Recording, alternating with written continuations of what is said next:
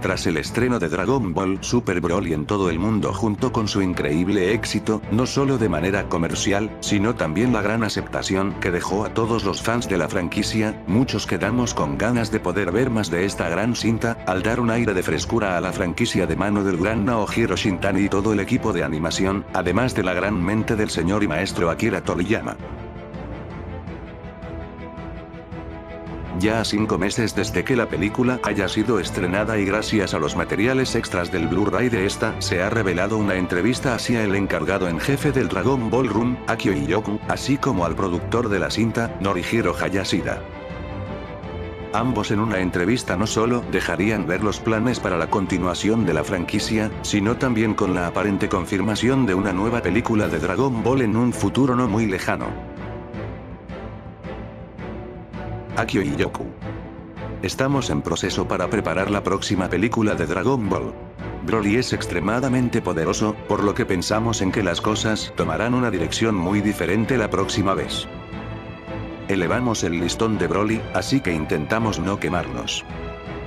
Creo que Dragon Ball continuará de aquí en adelante, así que queremos que esperen lo que se viene. Hayashida.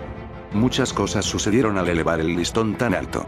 Esta vez nos volvimos tan locos con cosas como la cantidad de personal y el reparto que incluso me hizo pensar que no sería posible mejorar.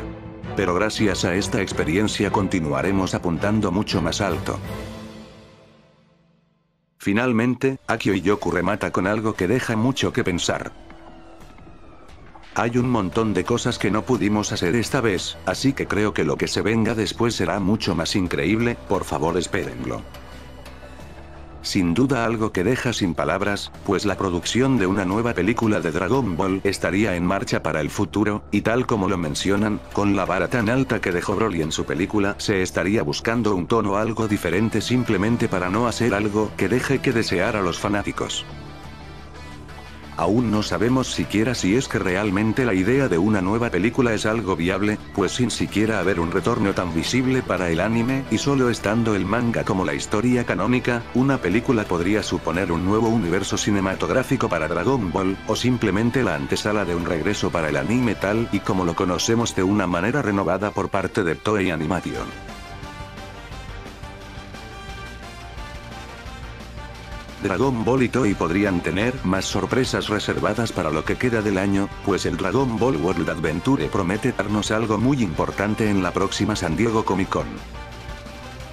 Solo tenemos que esperar para poder conocer el futuro de la franquicia que todos amamos y esperamos su regreso triunfal.